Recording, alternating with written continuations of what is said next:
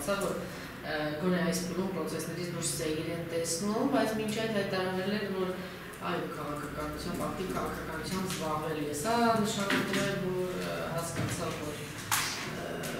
այս բլում գոնե Նիկոլ Փաշինյանի այլ նշանք չկա,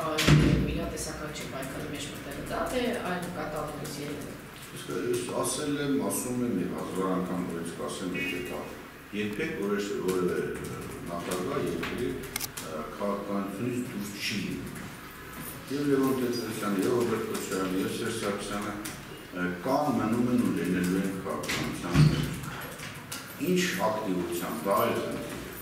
Եվ երբ խոսում է, որ իրաշոջ հնարավոր է ձևավորվի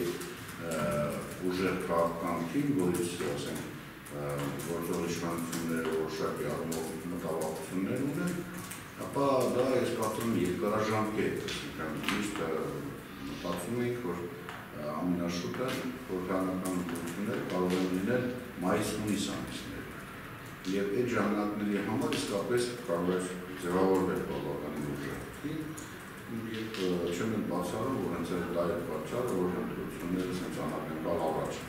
նորվեցին, որպեսզի կարողանան պահպանել որոշակի առավելություն, այդ էյֆորիկ որ արկա է, որպեսզի այդ ընտրություններում որևէ կոնկուրենցիա չլինի եւ իսկապես այդ կարճ ժամանակում շատ դժվար կլիներ վերակազմավորել։ Դե Ես կարծում եմ հաշվարկը դրան որտեղ մենք նաև պետք է ֆիքսենք հետևյալը, չէ՞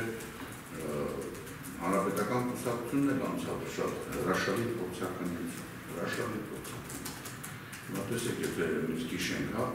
Ռուսավոկի Վահան Հովանեսյանին հայտնի ելույթ թե ինչ կլինի, եթե իրանք իշխանության չլինեն, ապա տալաներում ինչեր կարող է տեղի ունենալ, հանրապետական կուսակցությունը այս բավականին լուրջ պրեսինգի տակ ոչ միայն չտրողվեց, այլ ինչ որ առումով մաքրվեց եւ ցույց տվեց, որ ինքը քաղաքական կայացած կուսակցություն է ասեք կուսակցության շատ անդամների նկատմամբ մի վերաբերմունք երևի անշելան լավինի, որտեղ ես տեսարանում շատ էի նկատմամբ ես վերաբերմունք ու կարծիքը հայտնել եմ, բայց հիմա գողունակությամբ կարող եմ ասել, որ ես սխալվել եմ, դա կոնկրետ ասենք Էդվարդ Շարմազանովի հետ կապված, Արմեն Աշոտյանի հետ կապված, ասենք Դավիթ Հարությունյանի հետ կապված, Արփինե Հովանեսյանի հետ կապված, Վիգեն Սարգսյանի հետ կապված, որոնք ոչ միայն այս շրջանում կարողացան շատ լավ աշխատել, այլ նաև իրենց կուսակցական դիրքորոշումը, իրենց կուսակցական գործունեության ակտիվությունը կարողացան պահպանել բավականին լավ մակարդակով, եւ եթե օրինակ այս դեկտեմբերյան այս ընտրությունների արդեն հանրապետական կուսակցությունը մասնակցի եւ արձանագրի որոշակի հաջողություններ, ես ամենևին չեմ զարմանա։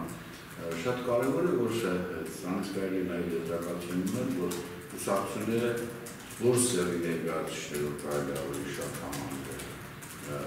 կանանցով, հա, երկրանսեր, կամ հարականսեր համացանցով, տեսակ, որ հանրապետական կուսակցությունից որևէ կին աղջիկ, հա, այս ընթացքում անկախ եղած ամենածանր ճնշումների չլքեց կուսակցությունը, դա շատ հետաքրքիր երևույթ է եւ ուսումնասիրության արժանի եւ դրանից պետք է նաեւ հետեւություններ անել